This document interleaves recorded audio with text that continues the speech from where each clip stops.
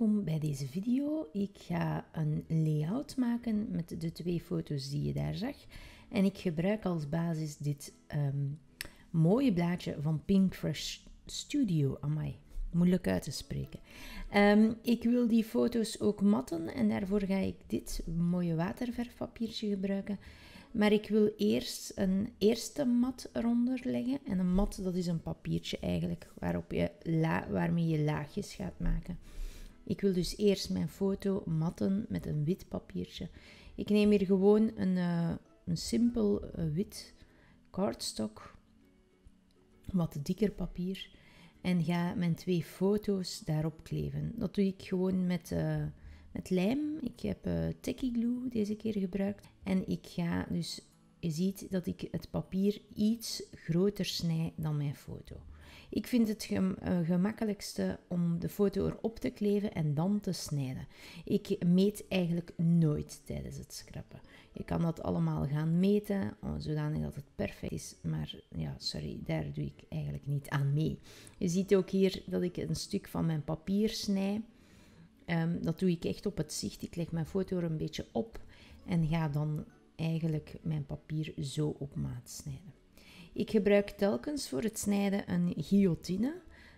Je ziet, ik, had een, uh, ik heb een grote guillotine uh, voor het grote papier snijden. En dan heb ik een kleinere. Ik vind die wat handiger. Als ik kleine dingetjes moet snijden, neemt wat minder plaats in op mijn, mijn werkplek ook.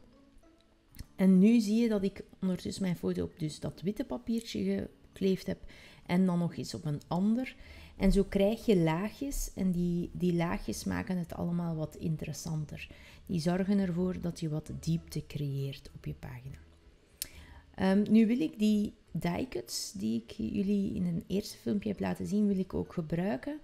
Um, ik ga dus mijn pagina wat versieren en ik leg die in een driehoekje. Dus je ziet dat ik um, rechtsonder een cluster gaan maken met die cuts. Uh, met, die, um, ja, met die papiertjes.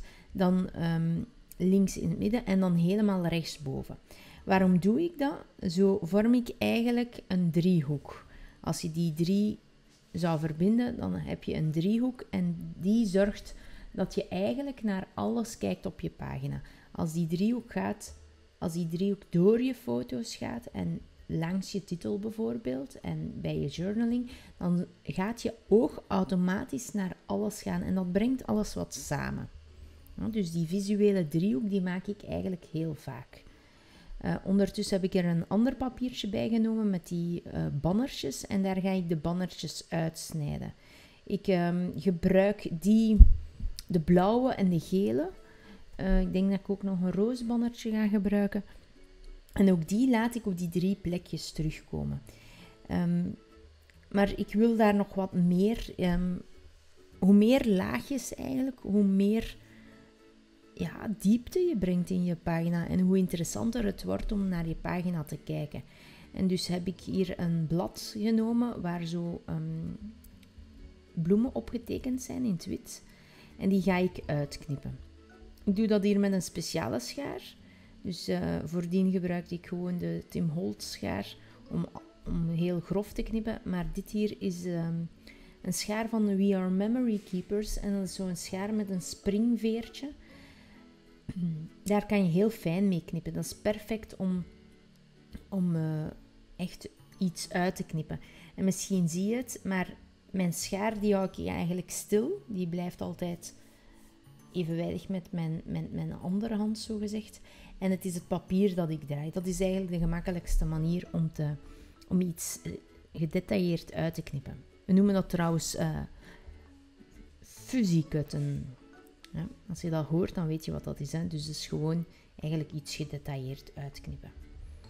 Um, en dan ga ik hier dat middelste deel, die foto's al vastkleven, maar ik kleef altijd zodanig dat er aan de randjes nog wat speling is. Daar ga ik nooit lijm doen. Dan kan ik er nog dingen onder schuiven. En dan bouw ik mijn cluster op. Ik ga eerst voor iets verticaal, dat zijn die banners. Dan ga ik die grote bloem erop leggen en dan ga ik van, van groot naar klein eigenlijk opbouwen. Dus ik doe er altijd iets bij. En je ziet dat ik verschillende vormen gebruik om het wat interessanter te maken. Dus verticale of rechthoekige vormen, dan die bloem die wat organisch is en dan een rond vormpje. En op dezelfde manier ga ik dat opbouwen op die andere plekken. Ik gebruik daarvoor niet noodzakelijk helemaal dezelfde embellishments, maar wel dezelfde vormen. Dus ook hier weer verticaal en ik schuif het eronder. Je moet het niet noodzakelijk in die volger ook vastkleven. Hè. Als je vlug genoeg bent met, met lijm, gaat dat wel hoor. En dan dus die organische grotere vorm, die bloem, en dan nog een bloemetje, iets rond. En hier heb ik dan nog een extra bannetje, bannertje sorry, erbij gedaan. Ehm, wat ook zeer interessant is, is dat je laat embellishments van je pagina lopen. Je ziet hier dat ik die bovenste bloem heb vastgekleefd en het lijkt alsof die verder gaat buiten de pagina. Ehm, dat is een trucje om het allemaal wat ehm, meer bij elkaar te laten horen eigenlijk. Ja? Het lijkt alsof dat, dat zo hoort te zijn.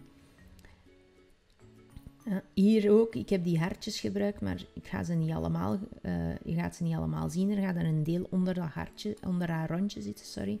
Dan knip ik dat daar gewoon af, leg dat aan de zijkant en misschien kan ik dat nog eens gebruiken. Hè. En dan ga ik mijn titel opbouwen. Um, ik maak graag titels in twee stukjes. Ik gebruik graag twee uh, groottes van titels. Ik vind dat allemaal wat interessanter. Deze keer wordt mijn titel These Boots Are Made for Walking. Van het liedje natuurlijk. En um, ik wil die... Ik wou eerst eens kijken waar die boots ging komen. Dus ik heb dat op een plasticje van, de van een verpakking dat daar ergens lag gekleefd en dan zo eigenlijk gekeken waar dat het beste komt. En dan ga ik mijn andere letters gaan kleven van. Dus je ziet dat ik die Are Made for Walking in het kleine lettertype doe. Ehm, ook in het blauw. En dan doe ik dat andere in het witte, grotere lettertype om het allemaal wat leuker te maken. Trouwens, alle alfabetjes die je hier ziet, ik heb die in het vorige filmpje getoond, maar die zijn ook natuurlijk van uh, diezelfde collectie van Pink Fresh Studio. Uh, en dan heb ik een probleem. Dat zijn letters die ik heel graag gebruik, dus, dus al veel gebruikt heb. En mijn E's zijn op. Misschien een welgekend probleem bij jullie. Um, nu, om daarmee dan geen, geen uh, titels meer te maken met E's vind ik wel zonde. Dus ik gebruik gewoon F's. Je ziet dat hier misschien. Uh, lijkt op het eerste zicht nergens op. Wat staat daar nu? Maar ik gebruik dus gewoon de F en dan neem ik een I of een X. Allee, letters die je niet zoveel misschien gaat gebruiken of waar je nog veel van hebt. Ik knip daar een stukje af en dat kleef ik eigenlijk tegen die F. En als je daar echt gaat op kijken van heel dichtbij, ja, je ziet het mij hier nu doen, als je echt van dicht gaat kijken, dan ga je zien dat daar, ah, dat, dat niet juist is. Maar ik, jullie zijn nu naar het filmpje aan het kijken. Ik uh, denk niet dat jullie het nu zien dat dat geen echte A's zijn. Dus als dat gewoon in je album zit, moet dat zeker kunnen. Het is allemaal zelfgemaakt. Het hoeft niet perfect te zijn. Hè. Laat, dan moet je, je, moet, je moet dingen durven doen. Hè. Ook ik hoor soms dat mensen niet in een blad durven knippen. Doe dat gewoon. Hè.